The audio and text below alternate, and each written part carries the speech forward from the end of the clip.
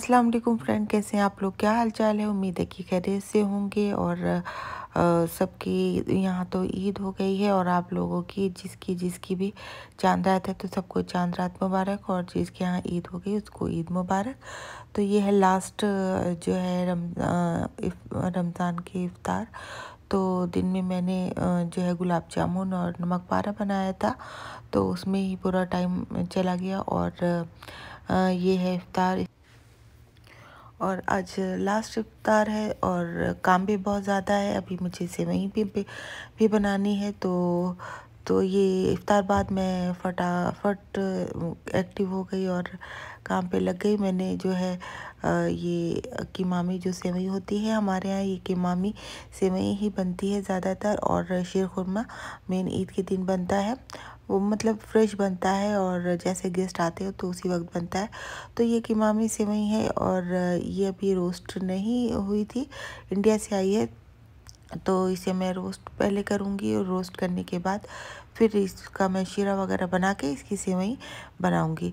तो ये देखिए मैंने ये रोस्ट करके निकाल लिया इसे। अब मैं इसका शीरा बनाऊँगी और मैंने ड्राई फ्रूट्स भी दिन में ही कट कर लिए थे। तो बस ये मेरा शीरा है, शीरा रेडी हो रहा है। तो इसमें इसको हमें खोया बनाना है। तो इसमें हम, जैसे कि एक किलो सेवई है तो तीन किलो चीनी लगती इस टाइप की इतनी मीठी सेवई बनती है।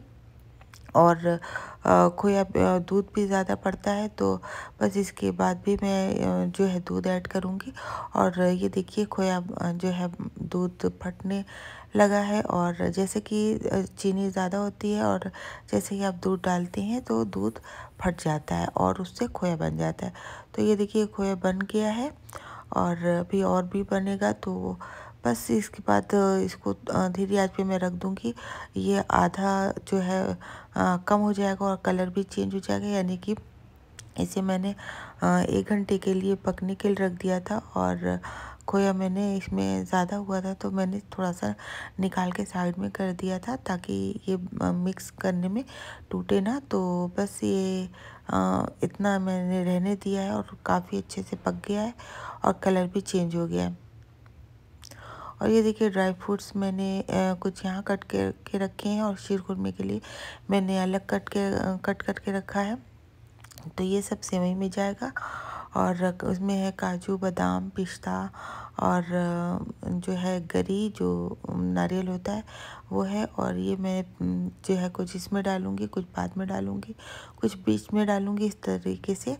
मैं जो है सारे ड्राई फ्रूट्स वगैरह और लौंग, इलायची ये सब डलेगी।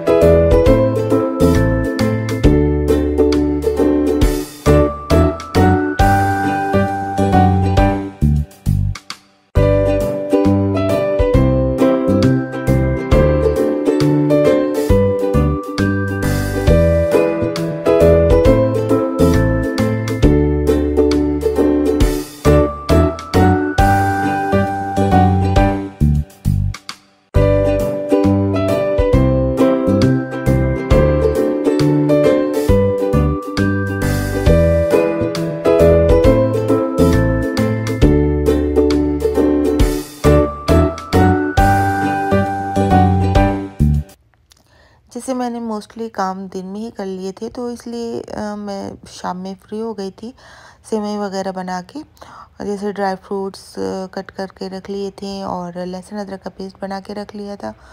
गुलाब जामुन और दही दही बड़े और नमक वाले तो ये सारे मैं बना के रख चुकी थी तो तो मैंने सोचा कि चलो थोड़ा सा बाहर भी घूम के आते हैं।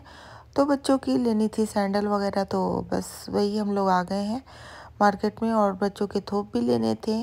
तो पहले हम लोग सैंडल लेंगे, फिर उसके बाद थोप लेने जाएँगे।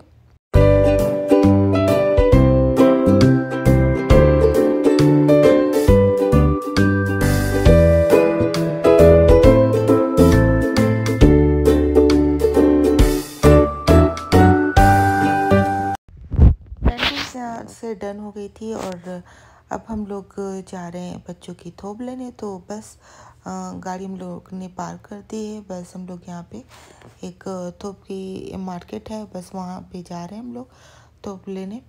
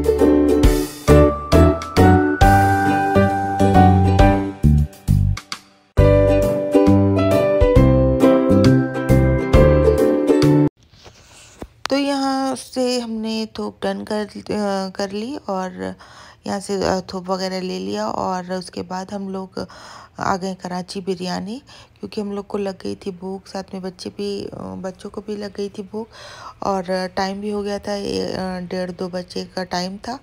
बस यहाँ से हमने ऑर्डर किया हलवा पूड़ी और मटन पुलाव और चिकन बिरयानी। बस यहाँ से हम लोगों ने खाना खाया और बस हम लोग खाना खा के ये है, यहाँ पे देखिए हलवा पूड़ी के साथ देते हैं छोले और पाकिस्तान में इसको बोलते हैं तरकारी और जो है भटूरे खाए हमने। तो बहुत ही अच्छा था गरम गरम था और ये जो है कराची का जो है यहाँ की बिरयानी फ़ेमस है, कराची की बिरयानी। और हस्बैंड ने मंगाया था, जो है मटन मटन पुलाव और, जो है फुल प्लेट चिकन बिरयानी की थी। तो बस हम लोग घर आ गए, फिर उसके बाद ये देखिए, ये जो है चप्पल आई है, यानी कि इन लोग की सैंडल वगैरह आई है।